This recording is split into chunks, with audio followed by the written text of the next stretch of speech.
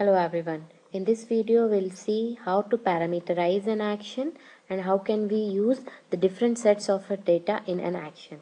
To understand this, let's take an example from this application. This is a simple HTML page. What this page is doing, just put some login and password here, then press enter.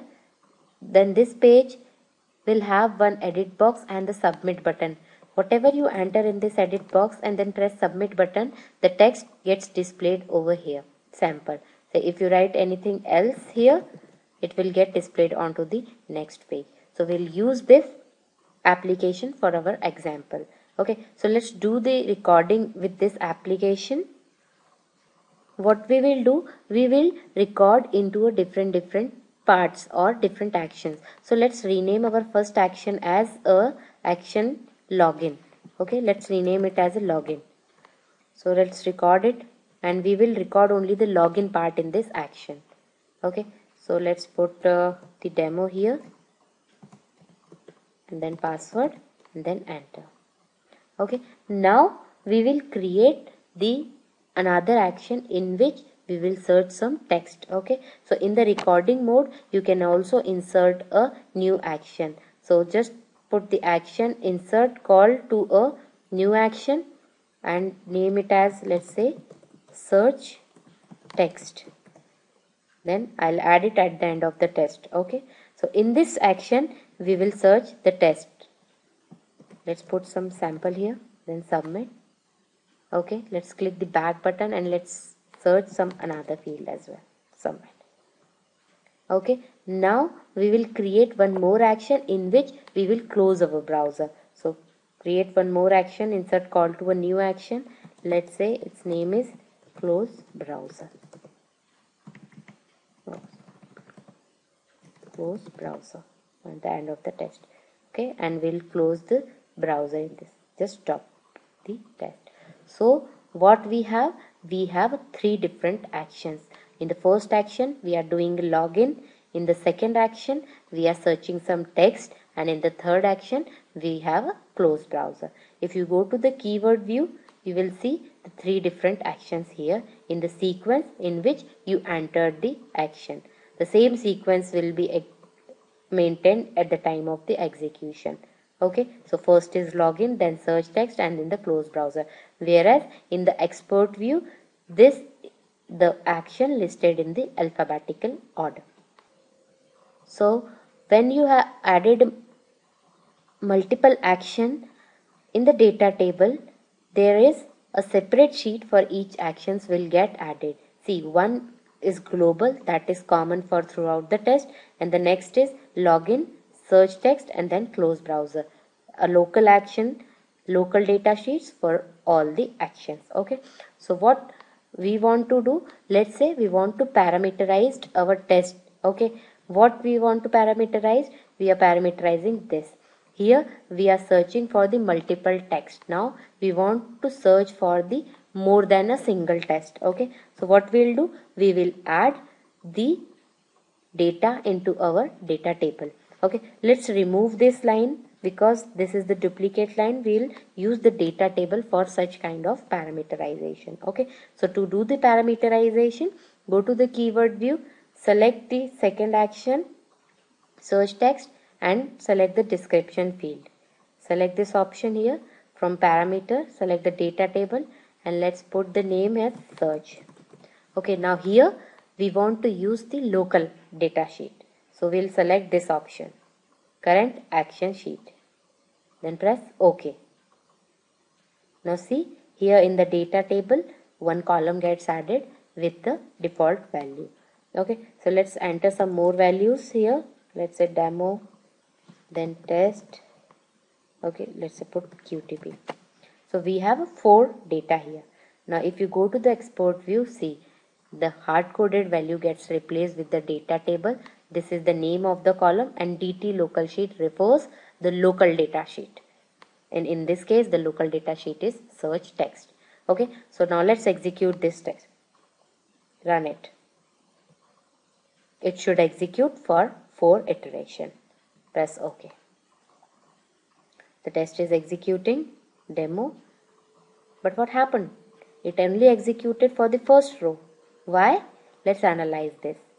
Because by default, the settings for the action is run on only one iteration. Okay, so there are two different settings for the iteration execution.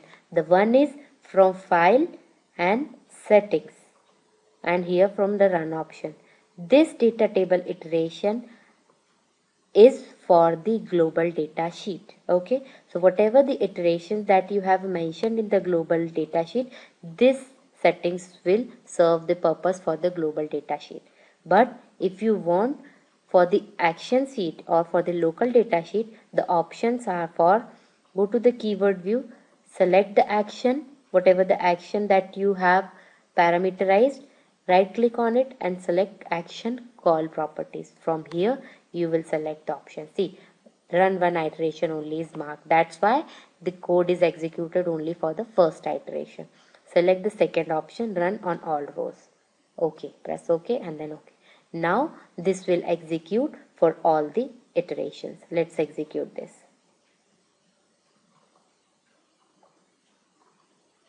Login see sam see now it this time it execute for all the four rows. If you see in the result file see in the results we have three actions here. Login search text close browser and within the search text we have four iterations. Okay? So for action level you have to go to the action call properties. Okay? So this is the local datasheet that we have used.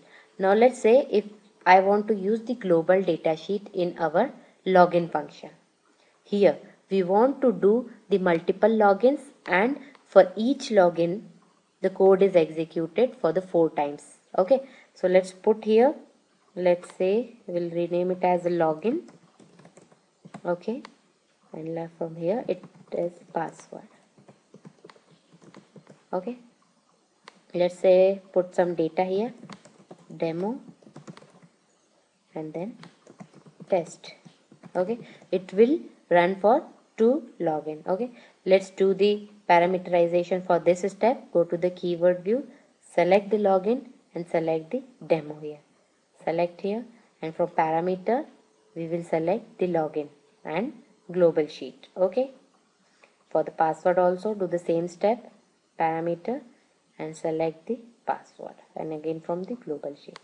Okay? Go to the expert view see it is replaced by the data table login. Now here it is referring the global sheet means this sheet. And in the search text we have local sheet. It means the local sheet of this action. Okay? Now if you execute this code this code will execute eight times. Why? The first iteration for the global sheet and for first iteration it will execute the four iteration. Okay? Similarly for the second iteration it will execute the four iterations. Okay? Let's execute this you will see the difference. For demo it is entering all the four values. Now it is for test. See here test. It is for all the four iterations. So this is how total eight iterations will executed for this type of test. See here. For the main the global datasheet row 1 and row 2 and within the each iteration you have four iteration for the search text okay? So this is how you can parameterize your action using the local datasheet or the global datasheet the data that you entered in the global datasheet can be accessed by all over the actions. You can use the global data in any of the action but the data that you have mentioned in the local datasheet can be accessed within that action only. You cannot use this data, the search text data in the login or in the closed browser. Okay, so that's all about the parameterization in the action. Thank you.